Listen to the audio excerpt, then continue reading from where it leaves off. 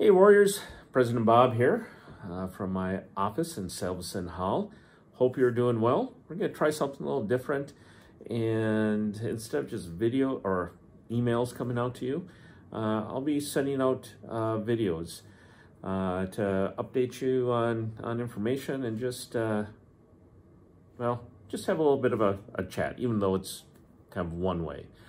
Uh, but just want to say, hey, it is so great having you on, on, on campus. And now that we have activities going on and, you know, football had a great game, um, soccer, you know, the, the volleyball and the energy of the, uh, the, the field house. Uh, and, you know, we got the, the play coming up uh, this week. I'm going tonight uh, to, to check out uh, girls. Uh, it's just awesome. I know it's a real different semester, uh, though, and uh, you know, we got to wear masks, we got to social distance, we got to be really good at all that stuff to keep it going. Because I know what you want is to have face-to-face -face classes. That's the way that you learn best, uh, and that's the way our our our faculty really enjoy uh, in engaging and uh, teaching as as well. So just a couple things uh, about that. First is uh, the distinction between self-isolation and quarantine. If someone tests positive, they go into self-isolation for 10 days. And that's a very strict self-isolation. Uh, they should only stay in their rooms except to use uh, the, the, the bathroom and be very, very careful uh, not to uh, expose uh, anyone.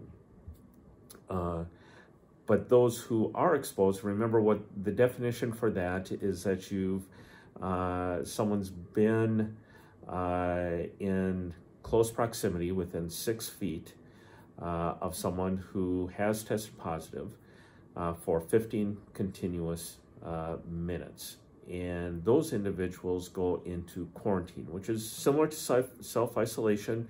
You need to restrict yourself uh, to to your room, uh, and uh, you know go out to use the, the the bathroom. But there is one important distinction, or really two. One, you're in quarantine for 14 days, not 10 days. Uh, and the other thing is that someone who's in quarantine, they're not infected uh, but the potential is there to have that. So that means that they can leave the dorm room, be very careful not to be around anyone, and go for a walk, go for a run. Um, you know, you obviously you shouldn't be going out to uh, the the grocery store or anything like like that, going to a, to a restaurant. Um, but it is okay for those that are in quarantine to get out and get some exercise, get some fresh air, even on chillier days like like to like today. So that's all very very uh, important, and all the details are on the website and come out for uh, in emails to you uh, as as well. But just want to review that. You know, as you know, last week, you know, we, we did see a rise in in positive cases and exposures that went into quarantine, and that uh, put us into our uh, orange status, which brought new mitigation efforts to help bring those numbers uh, down, such as grab-and-go meals, staying only in your, your dorm room with your roommates, not having any visitors in there, being masked everywhere when you're walking up and down the uh, the halls of of the dorms. You know, just masking up is so so uh, important and then, you know, attaching fines uh, to that, which no one likes. I don't like, I don't know anyone who, who likes that, but it just shows how important and urgent this moment is to us.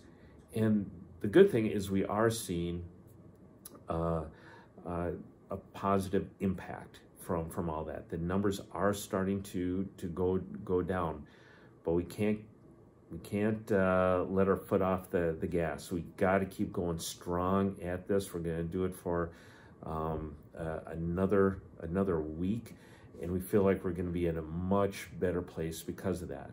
Because this is what we need to do to keep this semester going, to keep those activities uh, going, to keep that face-to-face -face instruction uh, going, not only for this semester, but for next semester as well, because this is probably going to be around for a while. And while that's unfortunate to say, that's that's that's what we need to be prepared for. And I know you can help us with this and do a great job and just keep this going um, so we can continue to bring those numbers down.